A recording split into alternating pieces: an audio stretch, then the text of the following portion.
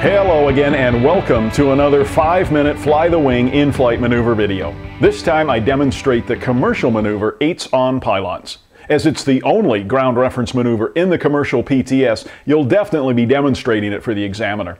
The airplane is flown at such a precise altitude and airspeed that a line parallel to the airplane's lateral axis, extending from the pilot's eyes, appears to pivot on each of the two pylons. Pivotal altitude is governed by the ground speed. It's not the wingtip per se, but rather a line parallel to the lateral axis of the plane that we're sighting.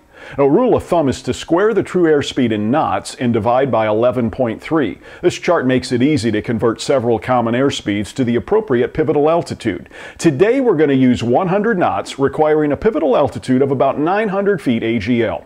If we get above our target altitude, the pylon will appear to move ahead of our line. And if we descend below target pivotal altitude, the pylon will seem to move behind our reference line.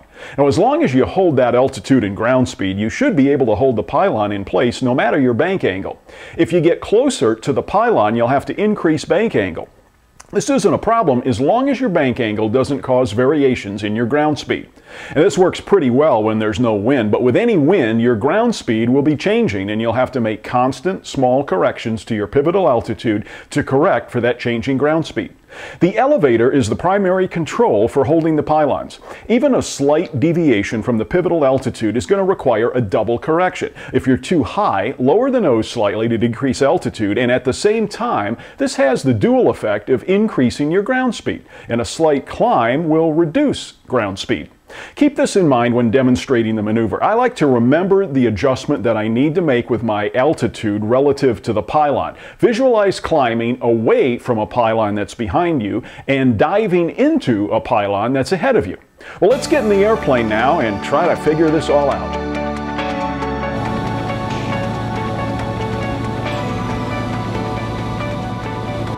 We have the airplane trimmed for 100 knots.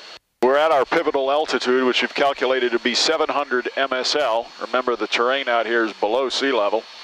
And as we come across perpendicular, we pick up our first pylon to the right, and we're looking to keep that lateral axis right off the wingtip.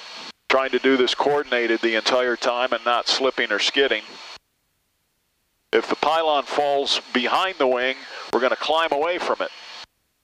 That means our pivotal altitude got too low or our ground speed increased or both. And right now, we're pretty much right on it to the right. We're halfway through the maneuver to the right.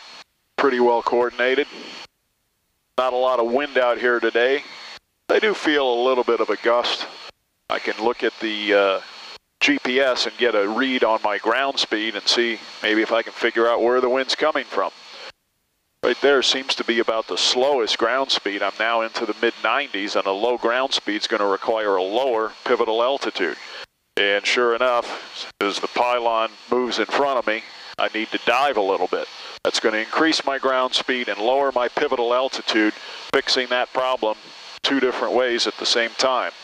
I'm perfectly coordinated and here comes the pylon. I've descended about 80 feet and I'm right on it coming across my line perpendicular. There's really no straight and level in this maneuver. As I come across my line, I'm going to transfer from the right pylon to the left pylon and pick it up with the wingtip. There's my straight and level about two or three seconds, and here comes my pylon to the left. This is pretty flat ground and you want to try to pick two pylons that are at the same elevation. That'll make it a lot easier. And try to make them about a half a mile apart from each other. Left pylon is right off the wingtip, but it seems to be moving behind me a little bit. So I'm going to climb just a little bit and magically I'm now at about 720 feet. The pylon has come back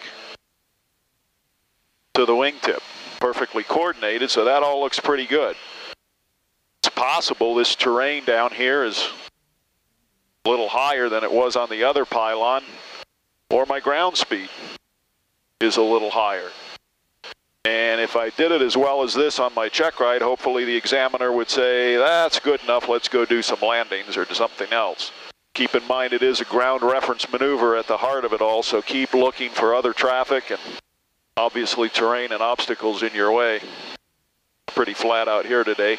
So now as I come across, I'm going to fly straight and level for just a couple of seconds, pick up my pylon off to the right. And there's my pylon to the right. And the maneuver's complete.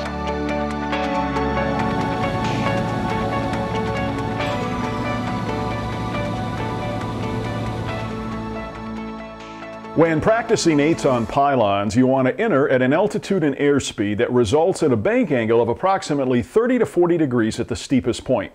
Be sure to hold each pylon using pivotal altitude, avoiding slips and skids. If you seem to be holding the pylon but the ball is out of the cage, well, that's no good. You should be coordinated throughout the entire maneuver.